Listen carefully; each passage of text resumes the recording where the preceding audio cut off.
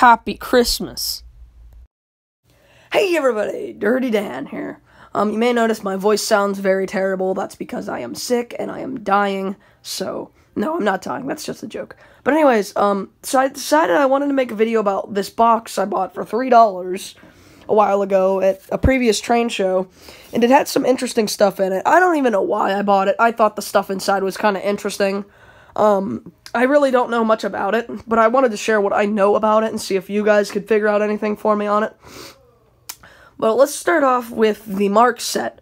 And the only reason I know this is a Marx set because I have this locomotive, which you guys may or may not remember I recently bought. And I was comparing the shells and I noticed they were basically the same. But then I'm like, holy smokes, this thing is in terrible, terrible shape. So this thing needs a motor, um, everything. So this is like literally all the Marx stuff. There was a few bits of Marx track. Then there was two cars, which these are extremely odd. They have these weird couplers on them, like that. They're not Kadees, they're like solid plastic. They kind of like snap together. I was able to get two of them together. I know these obviously must have gone together with this, um, considering it's the only Marx stuff. But it's kind of interesting. And so, yeah, I honestly don't know much about this. If any of you guys could figure out a specific set or something, this paint scheme, anything about it would be extremely helpful. And then we move on to the even more interesting thing. This, um, God, uh, Western Germany thing. Now, this one actually does have some internals, but it's missing wheels.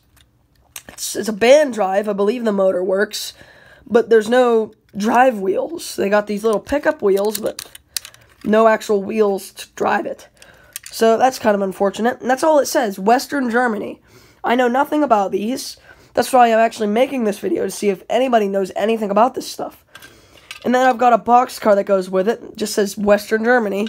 They have these really weird couplers I've never even seen before. So, I don't know anything about this. Um, I don't even know if it's HO. It may not be. Because I don't even, yeah, no, I don't even think it fits on my track. So, you guys know anything about that, let me know. And, um, yeah, you can see the plastic on this Marx set is kind of, like, weird. Like, look at, it's, like, kind of coming apart. It's, like, rotting. I've never seen plastic that rots. So that's kind of interesting. Um, but anyways, um, uh, if I get some information about it, um, I will uh, most likely be making a follow-up video, um, in the attempt to maybe jerry-rig something with this locomotive to get it to run. But I don't know it's a uh, it's kind of a low chance. Um, but anyways, guys, share your knowledge of whatever this stuff is with me, if you have any. Um, unfortunately, I, I I'm so sad because I got sick the day before Christmas Eve, and I it just really sucks. Anyone who who gets you know sick on days that are just terrible, you know, you you can understand how I feel.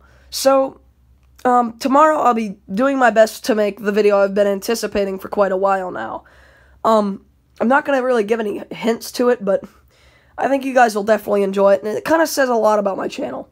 So anyways, guys, um, see you next time, and thanks for watching. Don't forget to like and subscribe, and I'll see you next time.